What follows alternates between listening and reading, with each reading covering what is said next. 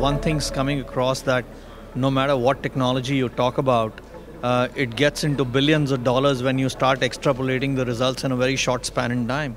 And this only tells you that the real uh, stuff that probably any transformation has to manage is complication and not the scale. So the complexity of what you do is probably more difficult to manage than the scale of it.